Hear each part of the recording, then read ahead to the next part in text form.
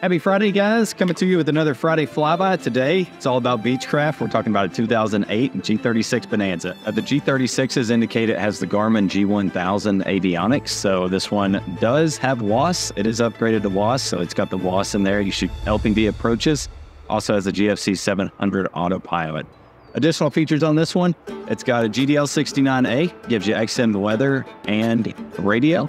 It's got an active traffic system, and it also has a GTX 345R. So not only do you have XM weather and an onboard traffic system, but you also have ADSB weather and ADSB traffic to back it up.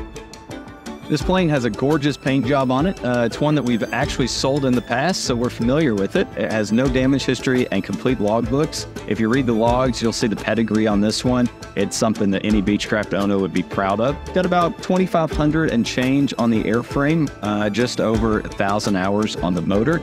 So you got plenty of life left in it. One of the great features on G36 is this clamshell door on the back to make it very easy to ingress and egress for your passengers. You've got the club seating in the rear, also have the option to turn the seats around and make it a forward facing airplane.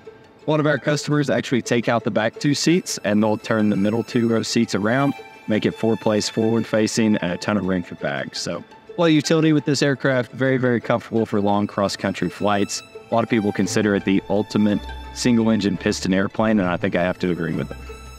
So if you're ready to make this bird your next airplane or just want to talk about it more, give us a call or visit us at airmart.com. The number is 859-233-9399. We have a lot of Beechcraft experience in the office. We'll be happy to tell you all about the product line and particularly about this airplane a little bit more. Give us a call, guys, and have a good weekend.